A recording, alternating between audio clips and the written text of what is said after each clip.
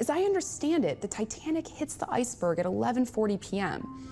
That means that a lot of people would have been sleeping in their cabins. Where exactly are the third class cabins? They are right down in the depths of the hull of the ship. They are the lowest passenger decks. And because of this, the third class cabins will be most in danger.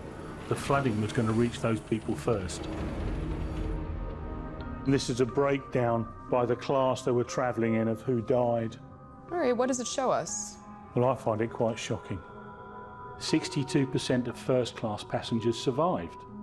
Second class passengers, 42%. Third class passengers, only 26% survived.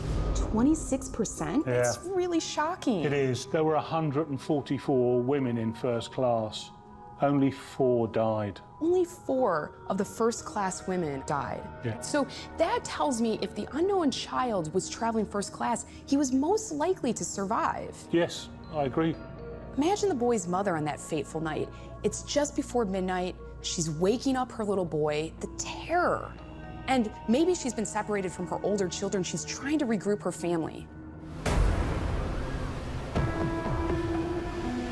Panic sets in. Many third class passengers who perhaps don't speak English, not knowing exactly what's going on, the testimonies of people that were there, they talk of chaos.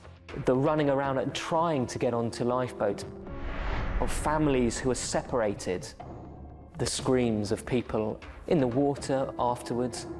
It would have been harrowing and terrifying in equal measure. The eyewitness reports give a chilling sense of what it was like as the ship sank that night. There fell on the ear the most appalling noise that human beings ever listened to. Cries of hundreds of our fellow beings struggling in the icy cold water, crying for help with a cry we knew could not be answered. We tried to sing to keep the women from hearing the cries. Those sounds will be one of the things the rescued will find it difficult to efface from memory.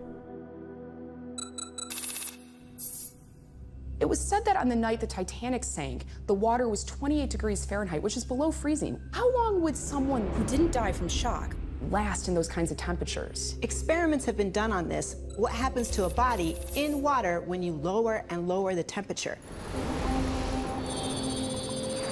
At first, the body tries to generate heat by shivering. At around 95 degrees, the heart rate, the breathing, and blood pressure all start to increase. But as the temperature drops further, the body tries to compensate by lowering the heart rate, the breathing, and the blood pressure. This cooling, if not checked, leads to disorientation, unconsciousness, and death.